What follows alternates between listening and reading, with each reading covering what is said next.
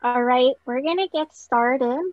Um, hopefully everyone got to grab a glass of water or a snack um, as we move on to um, this next session.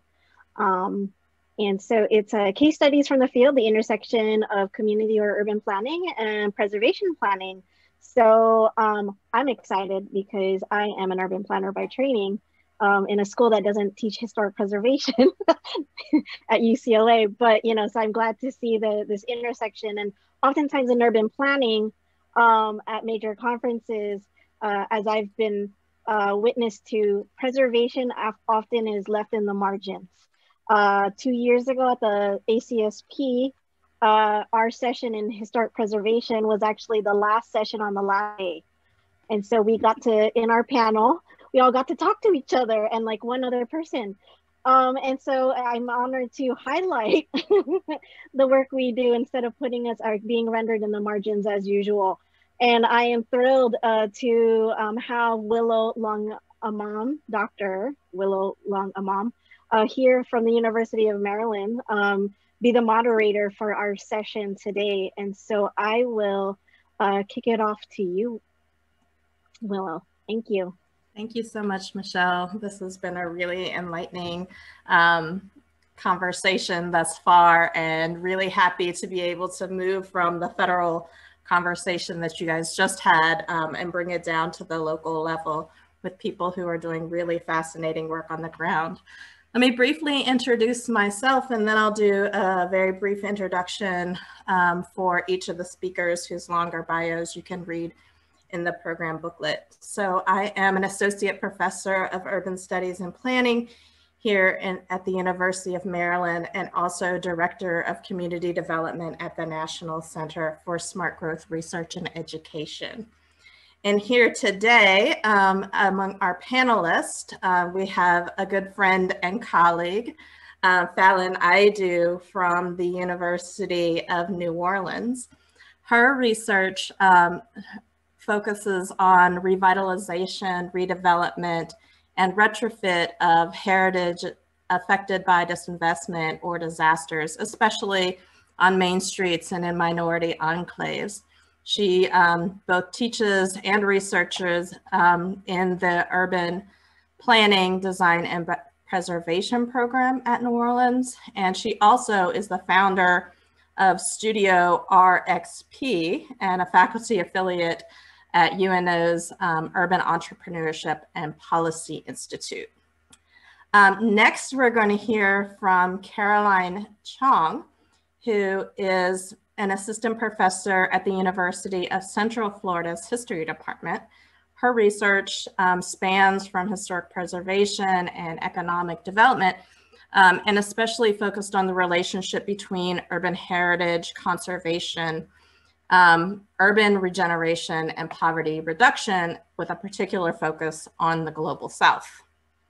And finally, we will hear from Laura Dominguez, who um, is a PhD candidate in the Department of History at the University of Southern California. Um, her dissertation is examining the ways that racialized groups in Los Angeles repaired and fra repaired fractured connections to the past through place unearthing a, a medicinal landscape of memory sites from the 18th through the 21st century. She's also currently a USC Mellon Humanities and Urban um, University of the Future PhD Fellow, and also founding board member for the Latinos and Heritage Conservation.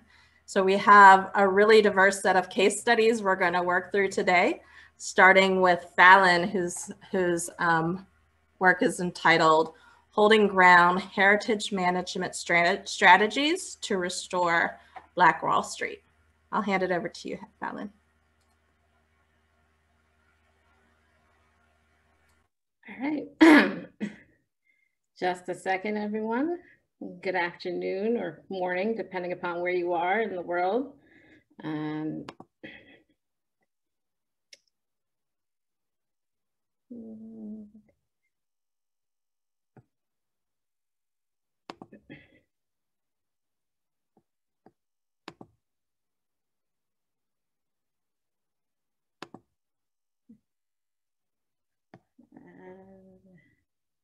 All right.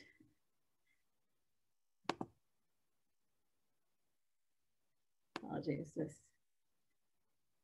trying to take over my whole screen there.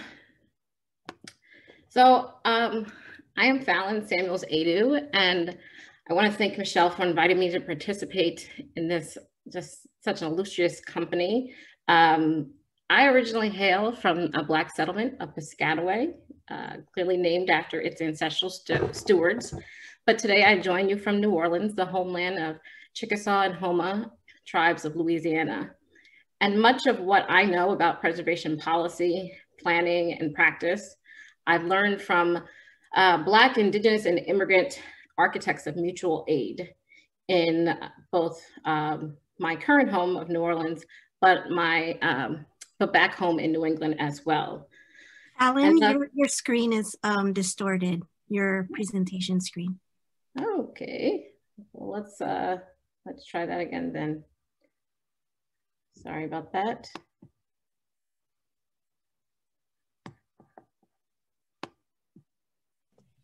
Alan, while you're fixing that, I just want to know if you're participating in Yardi Gras. Are you decorating your home this year? I am not. I'm definitely big not. okay. Let's do this.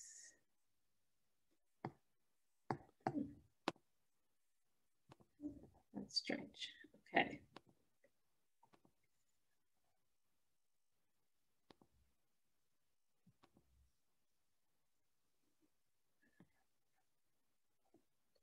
Try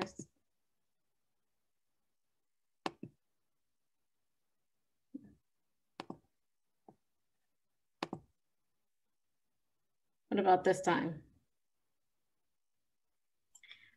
It's on presenter mode, but it, it's better yeah. than earlier because it was yeah. earlier. It was uh, cut off in I don't weird. know why it's doing that mode. Yeah, It's okay, but this is. I mean, this is fine. If sorry, I've had uh, a problem before.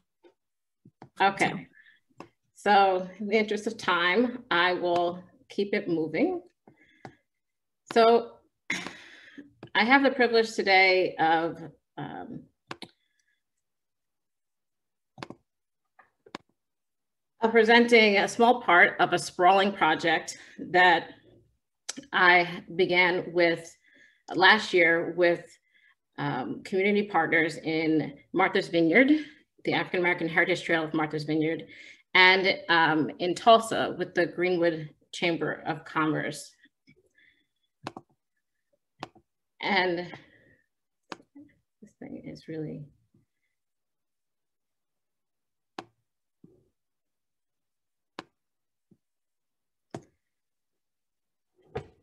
And this project, which focuses on the ways in which businesses have been locating um, in homes and other kind of um, shelter for unhoused people, um, particularly during crisis, has brought me to uh, intersect with quite a bit of a media storm currently uh, underway in Tulsa itself. There's been very little attention to um, what preceded this now historic event of the Black, of the Tulsa's Race Massacre. But that is, these, these more um, these acts of retreat that preceded that momentous occasion are what gave rise to this particular project that's looking at um, mutual aid amongst African American business owners who formed qu quite organically uh, main streets on um, native lands.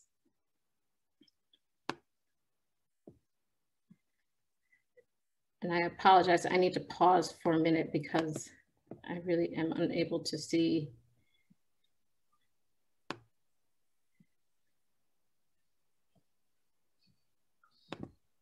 Alan, we can also have uh, Karen Yee pull up your presentation if you just want to start from the beginning. No problem. Um, I actually don't have a copy of her PowerPoint in the Google Drive. Hey, I lied. All right, so it looks like it just wants to take over my entire screen, um, no matter what I do. So um, I apologize. Do you want me, Fallon, do you want me to go for, and then you can try to figure it out in the next couple minutes? Yes, I would very much appreciate that. Thank you. Yeah, I'm happy to do that as long as the powers that be are okay with that. Great. Sure, thank you.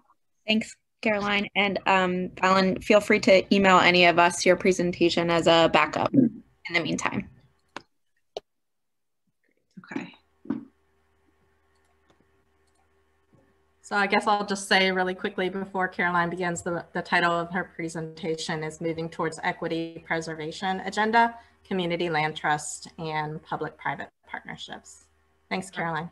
Yeah, let me make sure that mine doesn't mess up too. Hold on. Okay. I hope that that looks okay. Um, if somebody, if it doesn't, somebody please tell me. Great job. Okay, great. Uh, thanks so much um, for having me.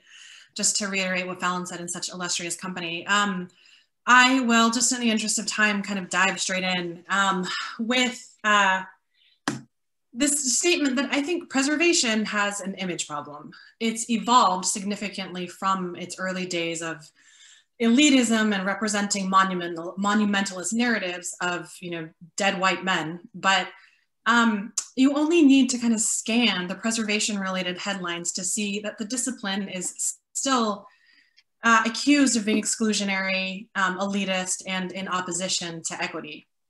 Uh, preservation supporters and critics increasingly demand greater and more comprehensive inclusion of uh, minority um, and marginalized communities within the preservation process to ensure fair distribution um, of preservation's costs and benefits.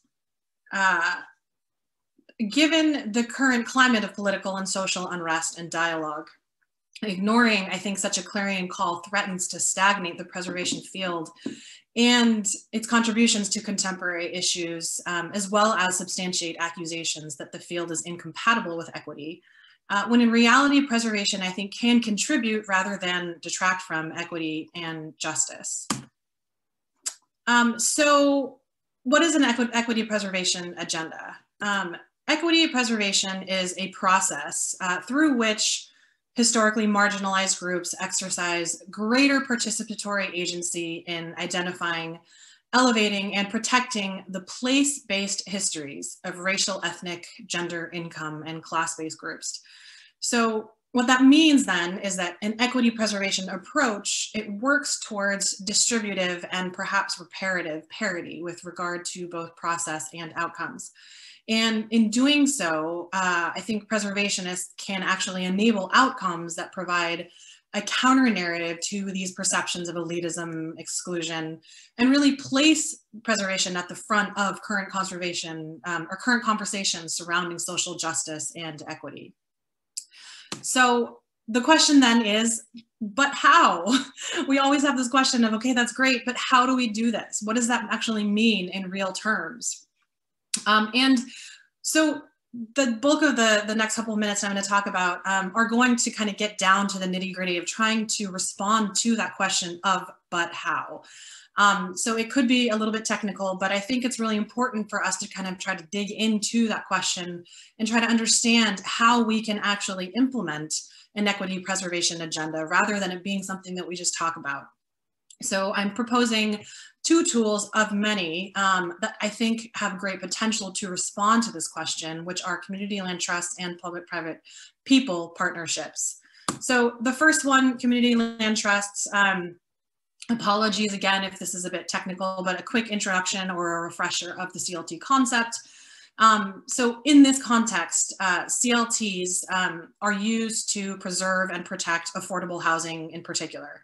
Um, they're used in other realms too to protect land and other other um, forms of assets. But in this in this context, we're talking about affordable housing, and it does this by separating the value of land from the building on top of it. So the institutional arrangement is one in which there are a group of people, usually citizens or nonprofits and government to varying degrees, that create a trust that owns the land but sells the house. And in an ownership model, the homeowners buy the home or the structure at an affordable price and with restrictions on use and resale. Uh, and then they engage in a long-term lease of the land, usually around 99 years, with title to the land held by the trust. Now this does two things. It lowers the purchase price and, and preserves long-term affordability of the home when it compares to market rate increases. Uh, but for the homeowner, when they sell, they re recoup the increase in value and any increases from improvements.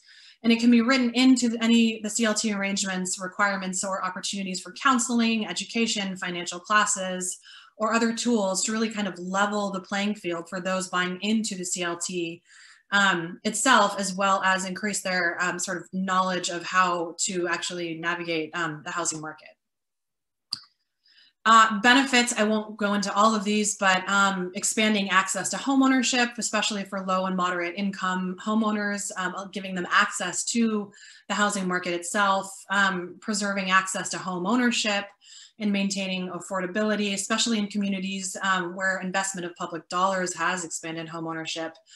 Um, for those people, particularly those excluded from markets, it enhances security of tenure, um, for first-time home, homeowners in particular, stabilizes residential neighborhoods, uh, builds personal assets, um, protects public assets, creates social capital, expands civic engagement. Um, it enables personal mobility um, by putting more money in the pockets of the, of particularly of low income or moderate income households, um, promotes development, and particularly it promotes diversity um, from a neighborhood scale as well. Um, so we have mixed income neighborhoods or just um, neighborhoods that are adjacent to each other um, that have less kind of uh, more equitable distribution of benefits between them. Um, those are just some of the benefits of um, the CLT. So why CLTs and preservation? Uh, simply put, a lot of housing stock is um, that's ripe for affordable housing is old. And much of it has historic value, designated or undesignated. So CLTs in particular can address this displacement associated with gentrification and historic preservation. Um, but it can also, by, it do, and it does this by providing affordable housing and simultaneously retaining the historicity of housing stock. So it's these two twin goals of affordable housing and preservation that we're are, uh, addressing here. And in doing so, going back to my earlier point, on the preservation end in our, our, image problem, we're countering these kind of elitist perceptions of preservation as a field by um, providing increased access to equity um, within the process of the CLT and outcomes. Um, just one example of a CLT that is doing this, the oldest CLT in the country and the largest, excuse me, um, its preservation is explicitly uh, Champlain Housing Trust, founded in 1984. Um, but interestingly enough, for those of you who are familiar with the CLT world, preservation is not in its specific mission. And in interviews with employees and the director, they corroborated that preservation is not an explicit goal of theirs, but they nonetheless understand that history and heritage and preservation within the built environment is part of the community and um, part of building healthy, thriving communities. Um, this is just an example, of Willard Mill, that was a former factory converted into 28 affordable homes. Um, oops, sorry. Uh, as I mentioned, it's the largest CLT in the nation. Um, two thirds of their sellers go on to buy in the private market. They have lower rates of foreclosure. Um, they also have numerous uh, buildings that they manage themselves as rental housing for the city's workforce, as well as people on fixed incomes. Um, so they serve both the rental and the home ownership market. Um, and a number of their projects are actually focused on specific uh, communities at risk. So focused on people coming out of homelessness or abusive relationships or have that people, communities that have other needs of social services. So in this realm, CLTs really are a way to provide both historic preservation and affordable housing. Um, and in doing so, they're providing access to housing, Um, they're providing access to markets uh, and actual physical spaces that may have been uh, kind of barred, that these communities may have been barred from before. Um, so it's really a question of, you know, former other other panelists have, you know, mentioned the word inclusion and exclusion. Um, so CLTs in this in this vein are really an element or a, a, a tool for inclusion um, and shifting the balance towards economic, social, and physical equity. Um, so the second tool that I have mentioned is public-private partnerships. I won't read this long definition, um, but the important thing to take away from it is that it's a public-private partnership is a contractual agreement between a public agency and a private sector entity in which these partners share and exchange risk, reward, and responsibility. Uh, and they usually combine public sector responsibilities um, and own home and uh, home and ownership, excuse me, um, with private sector innovation and efficiency through a long-term contractual obligation. So PPPs have been pioneered, um, or 3Ps, uh, have been pioneered and extensively used in infrastructure projects. Um, think roads, waste management, um, but they're gaining traction in the heritage world and they're used in the heritage scope primarily in rehabilitation and adaptive reuse of single buildings um, up all the way up to entire neighborhoods or districts. So just to dig into a little bit more of what PPPs are and what each partner kind of brings to the table, um, most PPPs, uh, 3Ps involve long-term leases, immediate or eventual transfer of responsibility back to the public sector. Um, long-term management through a long-term lease um, is usually held by the private sector as and because um, the private sector is most capable of handling the risk for redevelopment. Um, ownership again is held by the private, the public sector usually. But the important thing is that all parties are really contributing the assets and the skills within their particular purview of expertise and taking on the appropriate amount of risk and responsibility um, in order to reap their desired rewards. So what does this mean for heritage? Um, it is in the traditional 3P that we just talked about, we have the public usually means the government and sometimes local citizens. Um, and heritage is kind of loosely fit into that the, the public um, sphere right there. Um, but it, in, in the private sector usually means a developer. Um, this 4P partnership where we have people added in there, um, it elevates citizens to the same level as the other partners and really differentiates government from its citizens, which in certain environments can be incredibly important um, to differentiate governments from the citizens. Um, and in this 4P uh, um, uh, sort of diagram here, we have the third sector usually provides oversight, advocacy, and heritage expertise rather than just serving in a consultative role rather than just being asked um, or provided um, a, a, sort of response. And it, these, from an institutional perspective, they usually take on the form of nonprofit organization. Um, and if we really want to center issues of equity and justice, then we need to include people in these kinds of regenerative projects. So in the 4P realm, the US honestly doesn't have a very good track record uh, of including citizen organizations in these kinds of projects in a really meaningful way. Um, and it, they tend to be very real estate based or transactional. So um, turning to a quick international example um, that does kind of center people at a more um, equal way, we go to Quito, the historic center in Ecuador. Um, it's uh, beginning in the 1970s. Quito's Historic Center was in complete disrepair. Um, for those of you who don't know, his, the, the uh, Quito's Historic Center was the first World Heritage City to be listed in 1978. Um, it's incredibly beautiful uh, colonial architecture. Um, but you can see in these images, you know, what it looked like in the 1970s. Um, fast forward to the 1990s, 1994, um, the city uh, went, entered into an agreement with the Inter-American Development Bank for a 41, uh, $41 million loan, the creation of a mixed capital company called the Historic Center Enterprise. It was really focused on real estate opportunities um, to regenerate public buildings there. Um, just to give you an overview, uh, they are it's estimated that the ECH's um, efforts catalyzed nearly $12 million in private investment. Um, and the there was a, the public partner was the city as well as the national government in part, and the private partner was the um, local foundation. Um, they're geared towards creating, you know, a, a revitalizing or regenerating the entire historic center, and it included financial incentives um, that had tax exemptions for the differences between original and improved property values. Um, they matched investments and through grants and loan programs as well. They ensured that a number of their public projects uh, were geared towards at-risk communities like um, prostitutes and providing daycare or childcare for their children. Um, so really focused on at-risk communities there. Um, that said, it was not a perfect project by any means. Um, there was gentrification, instability of government changes, et cetera, et cetera. But we have learned a great deal from this project in terms of how we can uh, combine preservation um, and again, these social and equity minded goals within this context of a 4P partnership by placing the, um, the well-being of communities, especially low income or at-risk communities on parity with the public and private um, partners.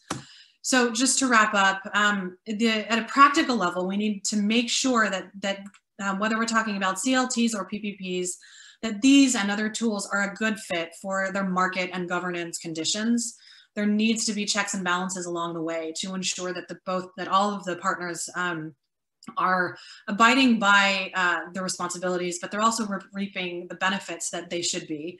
Um, and we need to make sure that local communities are being privileged. So again, you know, these tools are not perfect, they're not a panacea, but when they're used thoughtfully and deliberately and with care towards inclusion of these traditionally exclude of those traditionally excluded in the process um, and in that process the creation of opportunities or services along the way um, that can encourage parity where it's lacking. Uh, i think these tools um, and others like it can really facilitate equitable outcomes um, and move us towards a, an equity preservation agenda. So with that i will end. I've gone a little bit over time sorry Thank you so much, Caroline. That was really interesting to sort of hear two different um, tools on different sides of um, the market and non-market options of, of, different tools that can be used and um, some really concrete examples. Um, I'll say in the chat, um, there's a request for your definition of equity preservation. So if you wouldn't mind typing that in the chat for all of us to have on record. Um, and I'll just say before uh, we go on to the next speaker that we are a little bit behind time for this panel. So I'll ask if the next two panelists can try to um, not necessarily cut it short, but, but um, be efficient with your time so that we have time at the end for um, questions, um, which I think in this panel should be really interesting. So Fallon, are you ready to go? Yes, I am. And I appreciate everyone's um, being so working with me here. All right, you should see you should see a presentation. yes, yay. Uh, yay, great. All right. So I'm not going to um, go too much into my previous remarks, but just to say that um, I'm very privileged to present a small part of a project that is um, derivative of both my background, having grown up in a Black settlement within a native place, Piscataway, New Jersey, and working with um, grassroots preservationists in two places where um, African American heritage is being actively preserved by um, Native organizations and nations. Um, and I'm speaking today about work in Greenwood, uh, Tulsa, where the Indian Nation Council of Governments is a critical resource in preservation planning. And it's been a tough year to launch a new inquiry in partnership with grassroots preservationists. Still, our preliminary investigations of cottage businesses um, who uh, past and present have yielded fresh insights into the many, many organizational structures, and management strategies, and um, architectural spaces that shape Black heritage preservation, from churches to chambers of commerce and community development corporations.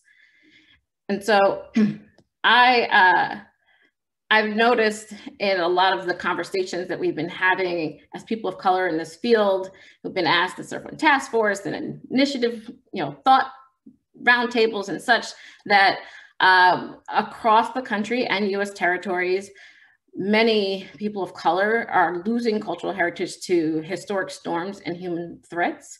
But um, much of the media attention is interested in minoritized heritage that in one particular place this particular year. In less than uh, four months, journalists will flood Tulsa's Greenwood Historic District to recount a white mob's violent destruction of Black Wall Street by arsonists and armed um, terrorists, really, on May 30th, 1921. And to a lesser degree, the media will retell the story of Black families, philanthropists, and entrepreneurs that rebuilt this Negro business district despite living with grief and living in retreat. And who can blame them? Um, the Greenwood Community Development Corporation, the organization fiduciarily responsible for restoring and registering um, the 10 historic buildings anchoring a pending National Register Historic District nomination uh, for this area is not even mentioned in rather recent historic context statements and historic resource surveys that include those buildings and their neighbors. Just last year, one year before the Tulsa Race Massacre Centennial, the CDC received a half million dollar NPS Nest preservation grant to commission architectural documentation and restore its architectural assets. The only remaining commercial buildings that Black Tulsans rebuilt on Greenwood Avenue after the massacre. And while architectural, archaeological, and archival surveys render assets of Greenwood's Chamber of Commerce and Community Development Corporation vital to rebuilding public memory of Black Wall Street, these surveys and the institutional grants and individual giving they have prompted largely overlooked the CDC's concrete markers of heritage management and the Chamber's contributions to remembrance of people, property, and places lost and gained during the massacre. And one should note uh, that it wasn't just violence that took things during the massacre and resulted in mass graves,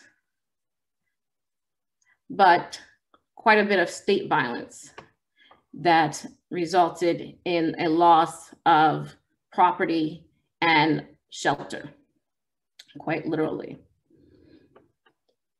So the Chamber's history of uh, land acquisition, ownership, leasing, development, and disposition is to some extent captured in a forthcoming atlas powered by ArcGIS and the brilliance of uh, Tulsan archaeologists and geographers who are mostly interested in chronicling slum clearance and Negro removal at the hands of Tulsa's Renewal Authority and displacement and development at the behest of the state's educational institutions and the city's Preservation Commission. And, you know, they have quite a bit on their plate uh, in terms of chronicling a century of spatial transformation and social change. And so it's not um, at issue on their part that it does not delve into the particular history of this chamber, but it is unfortunate.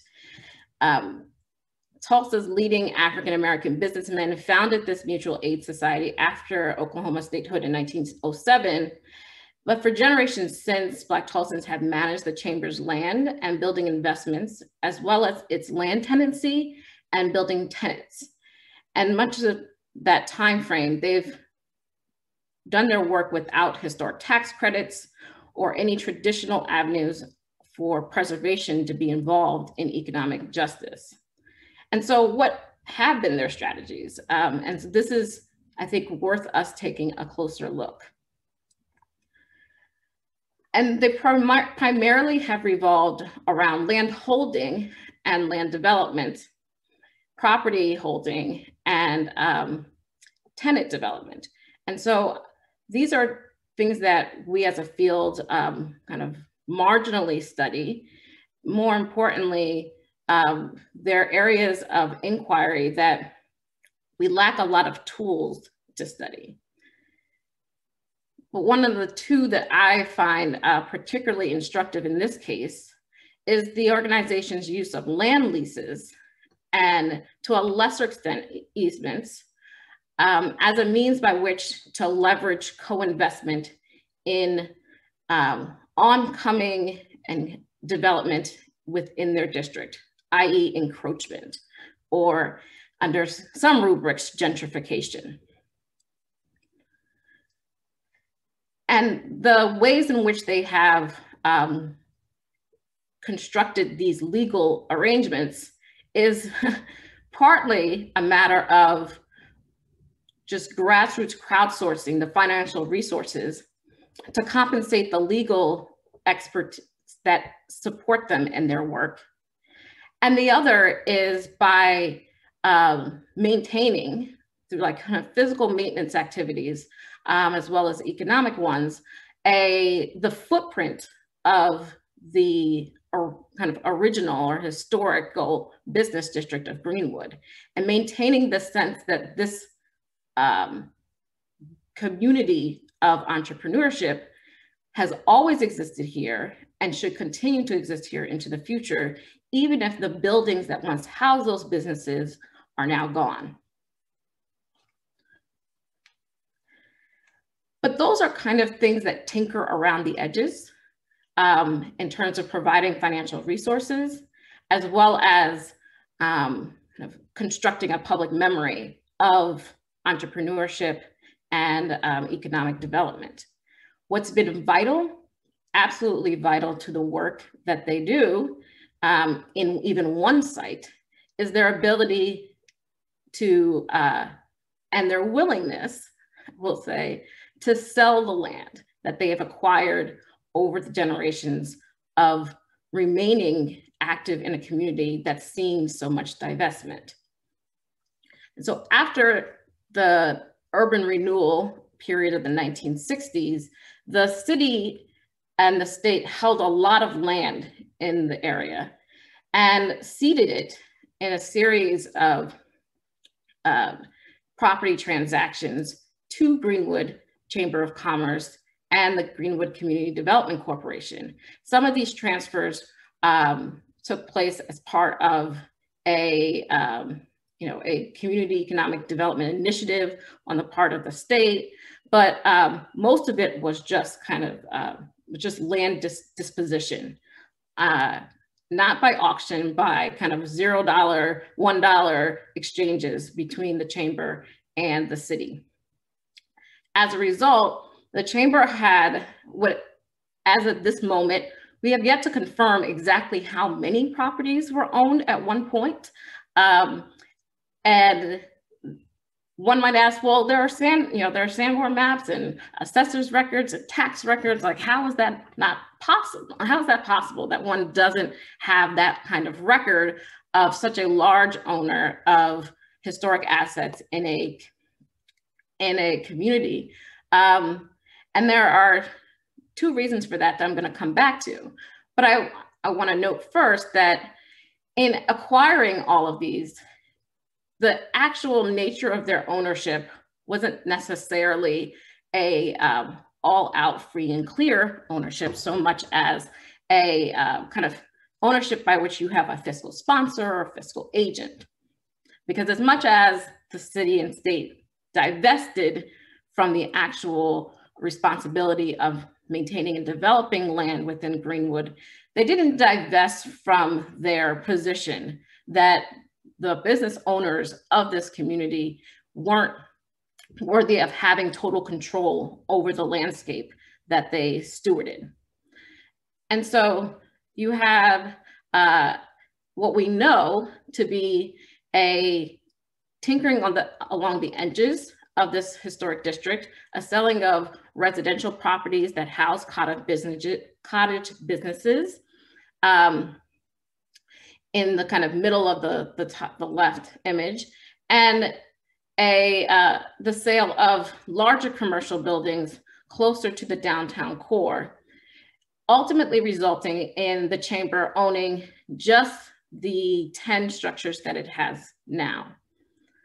And so what these property sales allowed the organization to do is establish a land lease praxis um, where they capture land and then release it to certain degrees to uh, whether through sublease or through um, a full sale with covenants or a sale with leaseback provisions.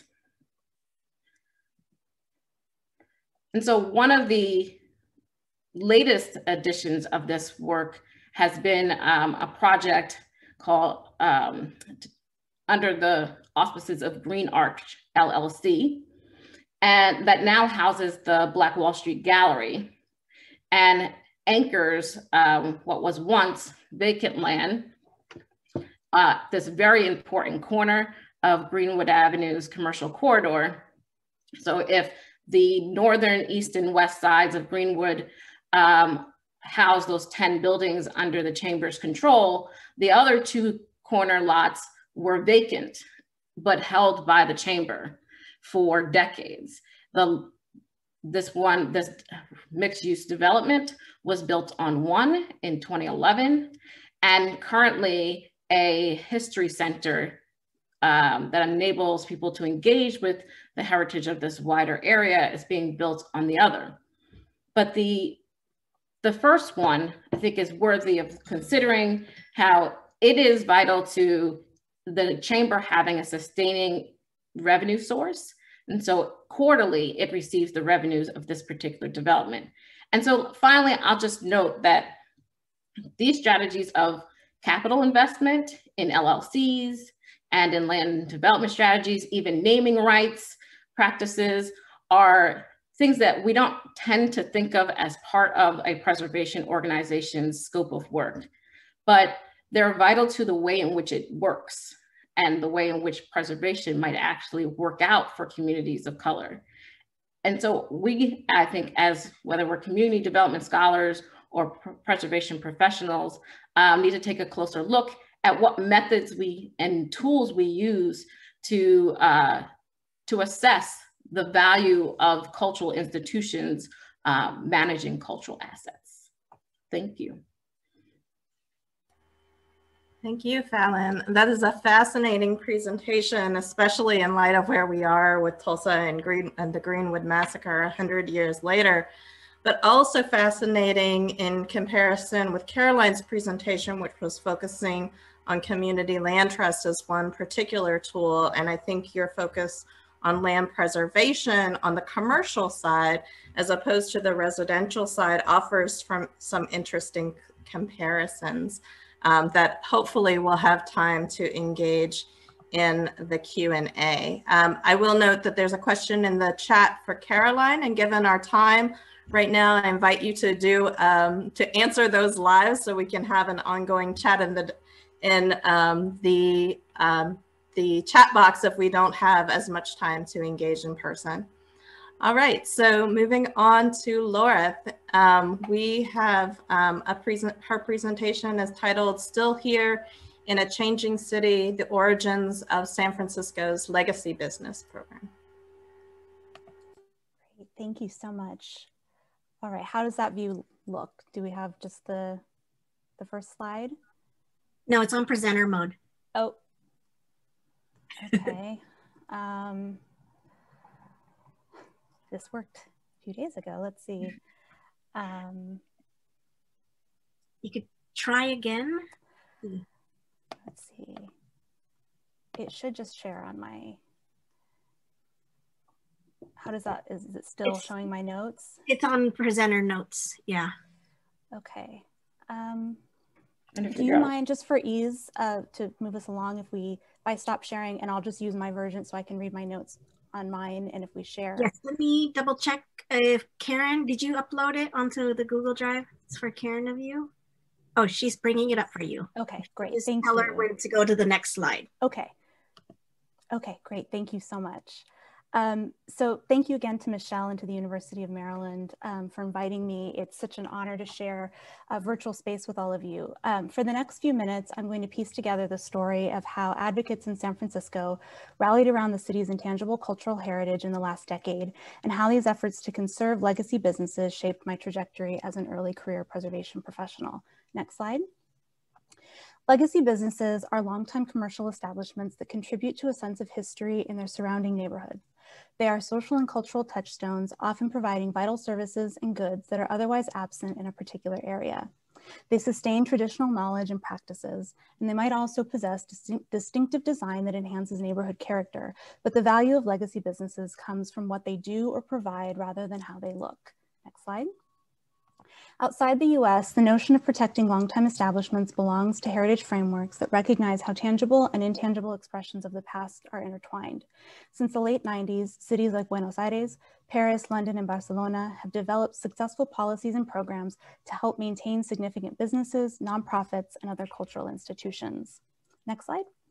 In 2012, San Francisco Heritage created the first preservation initiative in the US designed to draw attention to mainstays of memory, culture, and belonging that were at risk of disappearing. Known as legacy bars and restaurants, the program argued that landmark designation and related tools were insufficient for protecting commercial heritage from displacement and that the city needed new criteria and incentives to stem the tide of loss.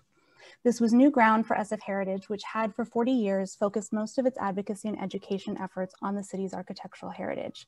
Now the nonprofit, its community partners, and preservation commissioners argue that historic businesses stabilized and knit together San Francisco's neighborhoods and thus deserve public investment amidst unprecedented real estate speculation and development. Next slide. This argument was persuasive. In 2015, the city of San Francisco established the Legacy Business Registry, which became the first designation program for intangible cultural heritage in the US. Since then, 300 businesses have joined the program and gained access to grants and technical assistance enabled by the voter-approved Legacy Business Historic Preservation Fund. The idea is gaining traction in cities across the Western region. The cities of San Antonio and Seattle, for example, have created legacy business programs, and the city of Los Angeles is also studying the idea. Next slide. But rather than delve further into the nuts and bolts of these programs, I'd like to return to the grassroots origins of the movement for legacy businesses. My talk will emphasize the crucial roles of neighborhood advocates, small business owners, families, and nonprofit leaders in advocating for local government partnership. I'll describe how these efforts shaped my early career and close with some thoughts about how conserving legacy businesses might be a strategy for unmaking entrenched social, economic, and racial inequities in our city. Next slide.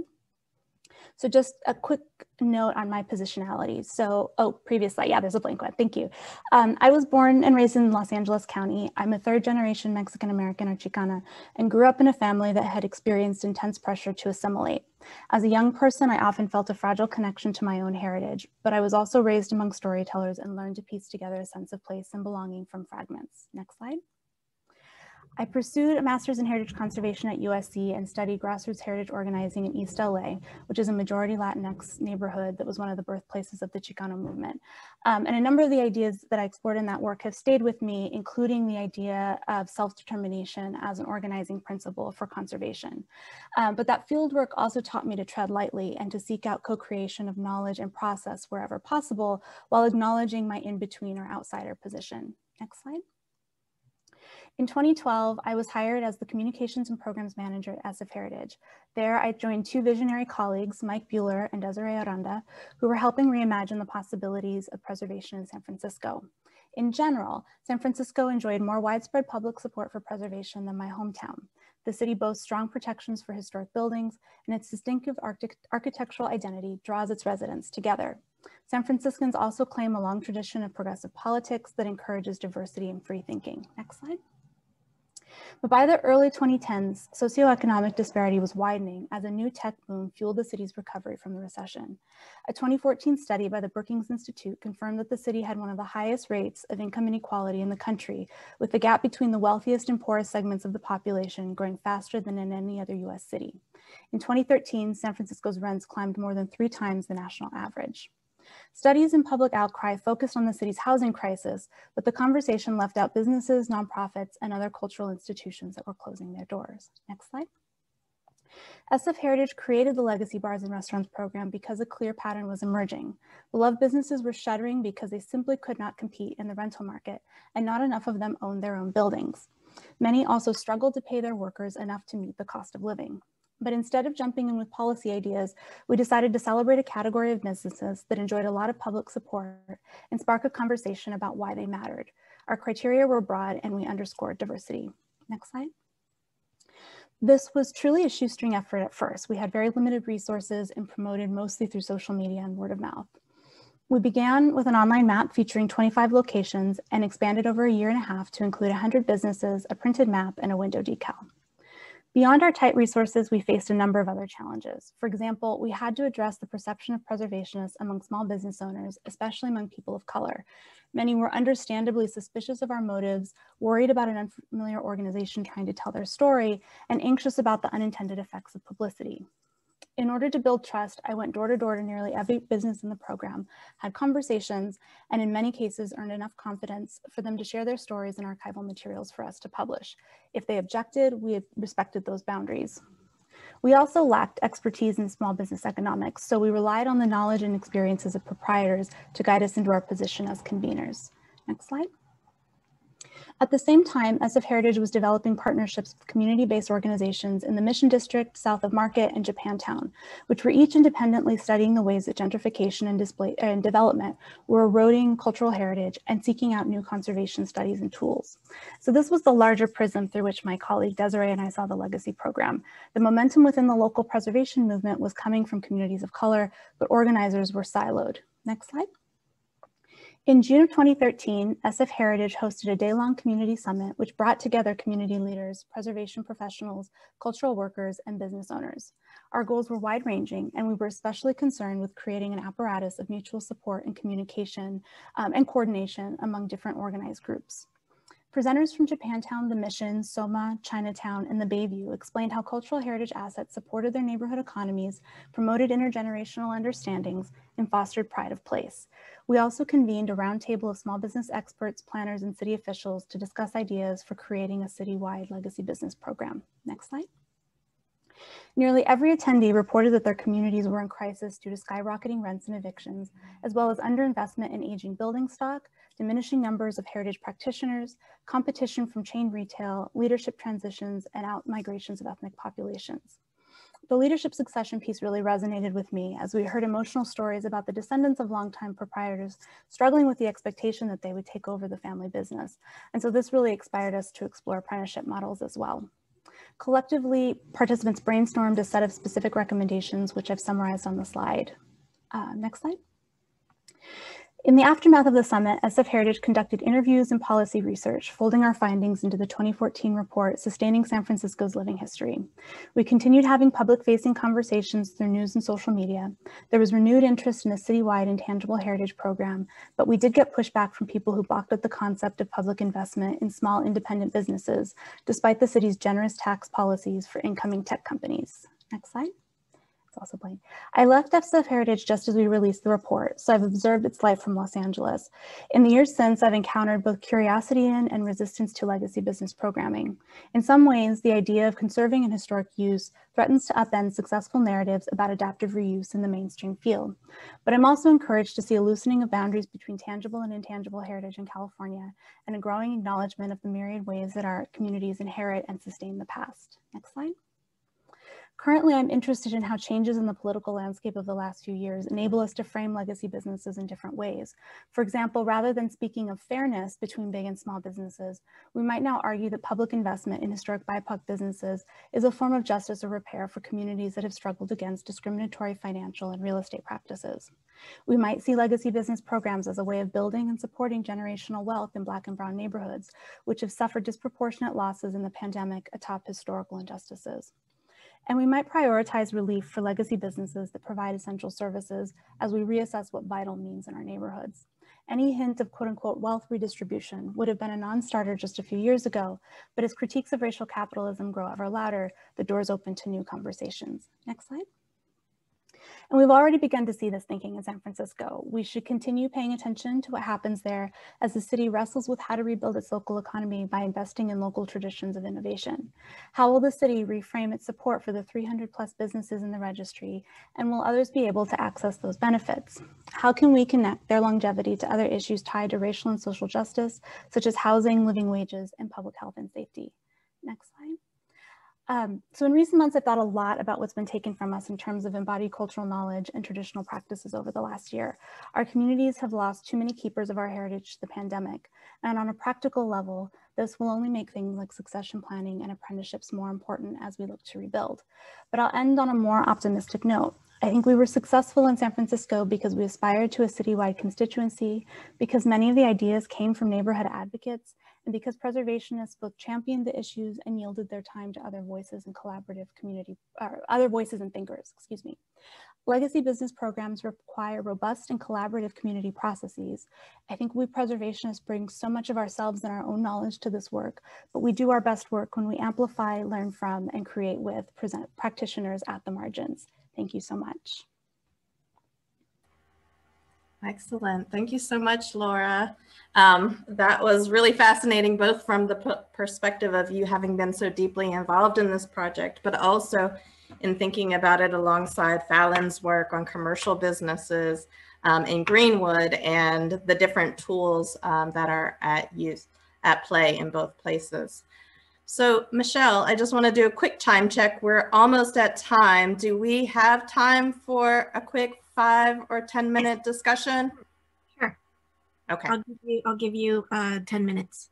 Awesome. Thank you so much. break between sessions. Sorry, everyone.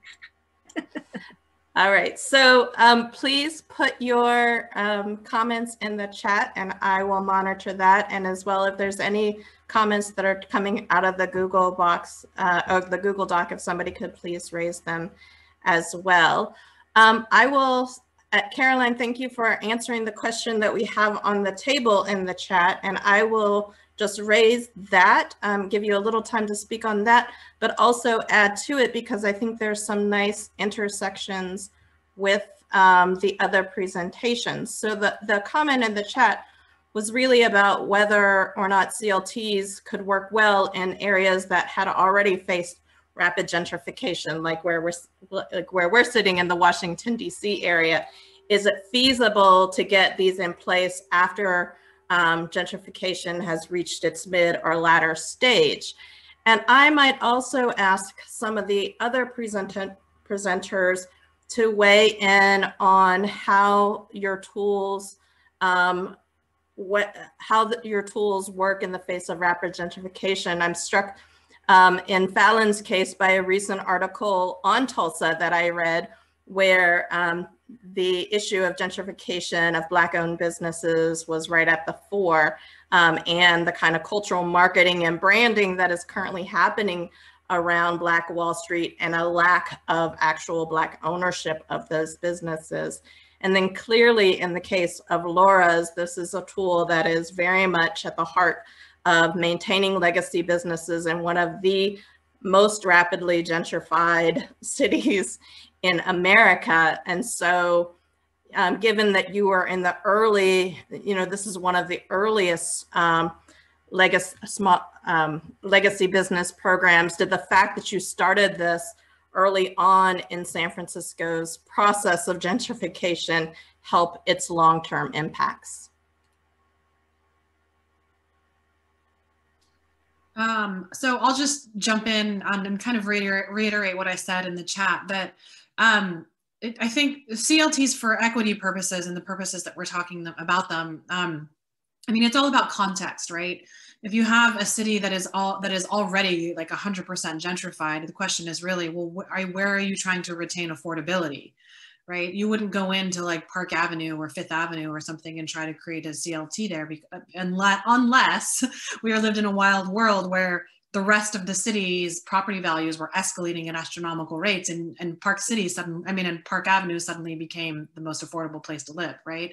It's all about context. So um, in, a, in, a, in, a, in an area or in a city that is already gentrified, um, it's, it's really just a question of, well, what, what would you be trying to preserve at that point, right?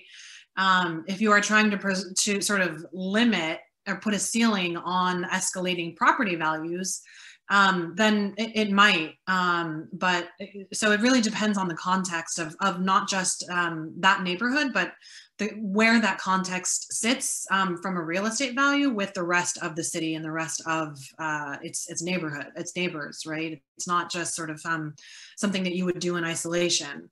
Um, so there really has to be, and I guess this is a long way of saying there has to be some kind of comparative um, threat in some way. Um, it, threat might be too strong, but it just, it needs to be, there needs to be some kind of comparison that you're trying, in which you're trying to preserve the housing in that specific neighborhood versus another, I guess, is, is um, the short answer to that.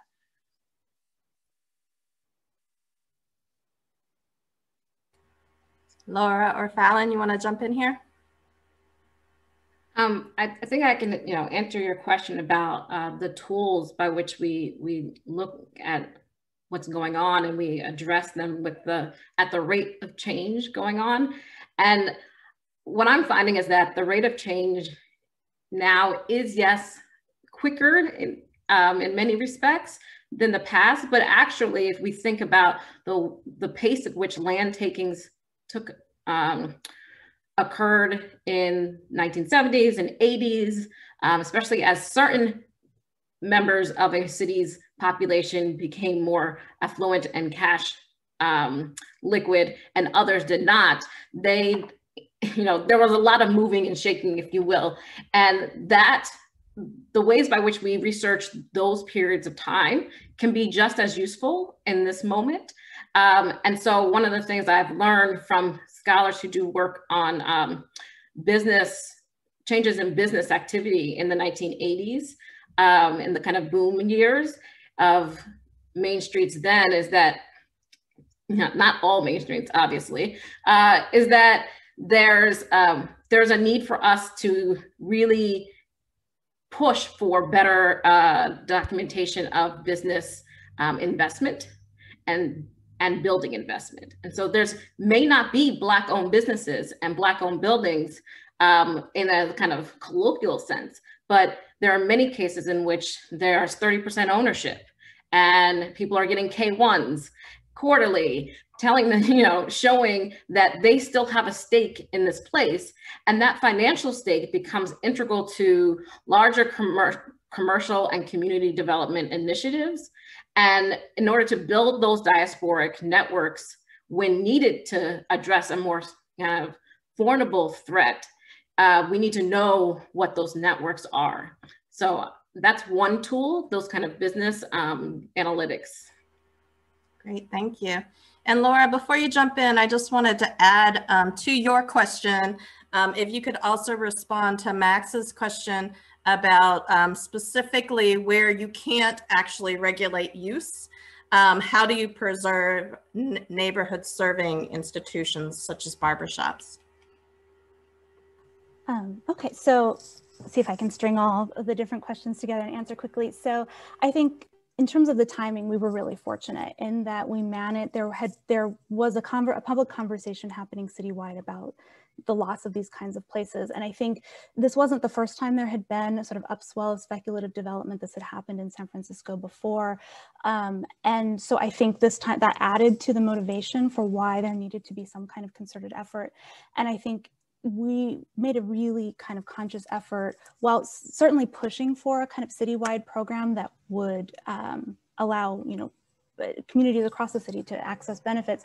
We, when we were developing our policy report and looking into things like land trusts and community benefits agreement, you know, these kinds of public-private partnership, we wanted to be basically create a toolkit for communities to be able to, or neighborhoods, to be able to decide, to decide what would work best for them. So um, and, and to think about the legacy business program itself, not as adding additional regulation, but being completely incentive based, that it was something that people could opt into um, that would think about, you know, that would evaluate places um, through a more kind of flexible lens um, and think about helping to support both property owners and uh, the, the, the, businesses that they rented to.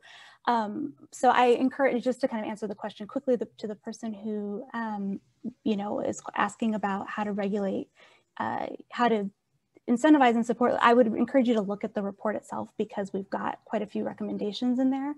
Um, and some of it just start, in some cases, just starts with the, you know, neighborhood education campaigns around trying to encourage people to patronize businesses if we aren't at a place of being able to regulate. I think there's a sort of understanding that we sort of support, there there's mutual uh, apparatus of support that I mentioned that that we can as private citizens as consumers we can make decisions about where we put our money and that sometimes you know in the absence of government being able to respond that we can kind of take on the we can we can help contribute in those ways too Excellent. Thank you so much. Um, so I think we're probably down to our last question here, and I'm going to try to combine a couple of questions that we have in the chat in doing so. Um, Alex, I don't think we're going to get to your workforce development question, so maybe if Caroline can um, respond to that directly, but I wanted to raise a question um, that both Gail Dubrow and Clara Arrazabal um, asked about um, sort of pushing the fields of preservation and planning a little bit closer together, but through the lens um, of what Caroline brought us to at the beginning of her presentation around an equitable development agenda that really thinks about reparative and distributional aspects in both process and outcome. So um, if you can, uh, if each of you can kind of speak to sort of those meshing of um, these fields or closer alignment of the fields and how we can continue to push that, but through some of those frames that Caroline introduced us to at the beginning of her talk. Um, I'll I'll jump in and say I think so. Part of it is this question. I, I looking at Gail's question specifically about reparations is um, this, this, issue of who, right, and who the communities are that we're including. And and I think what I tried to really highlight, I think, is the importance and the value of um, the differences between just uh, communities. Um, or the who being sort of involved in a sort of consultative way versus being truly involved and integrated integrative um, at the creationary point, right? At that point at which we are actually creating preservation programs. So kind of what Laura was talking about and in terms of involving local communities and um, and sort of not just involving them on the back end, right? And saying, hey, do you want to come sit at this table that we have already built and created, right? So um, the CLT model that I that I was focusing on, you know, involving local communities in the actual creation of the CLT or whatever the tool is that you're using, right? Is that is is really just getting to that question of who you're really focusing on and the degree to which you are allowing them to um, not allowing them that's not the right way the right phrase but involving them and integrating them into the preservation um, process. Because you know we all know that you know higher involvement in the creation and um, and the actual process of something has has you know better results for um, equitable outcomes um, at the end at the outset